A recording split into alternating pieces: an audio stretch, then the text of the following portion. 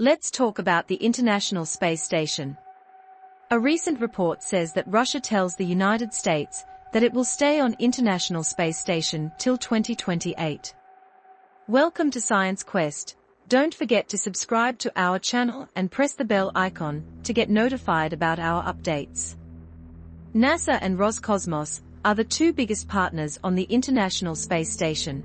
The tasks of operating the station and maintaining human presence on the ISS have been given to these two space agencies. However, current tensions between Russia and the United States over Ukraine have created danger for the future of ISS cooperation. Borisov's predecessor, Dmitry Rogozin, gave threats about Roscosmos coming out of the ISS agreement. While NASA has continuously assured the public that everything is okay and business as usual on the station.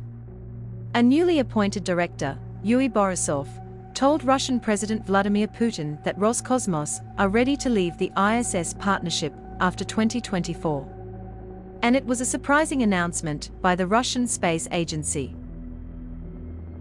On Wednesday, the Russian Space Agency published an interview on their official website with the flight director Vladimir Solovyov, in which he is saying that Moscow will stay in the ISS agreement until Ros is up and running.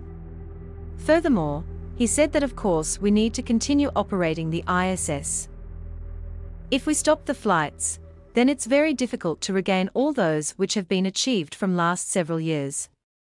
Kathy Lueders, NASA's space operations chief, said we're not getting any indication at any working level that anything's changed. Further, he said that NASA's relations with Roscosmos would remain business as usual for now.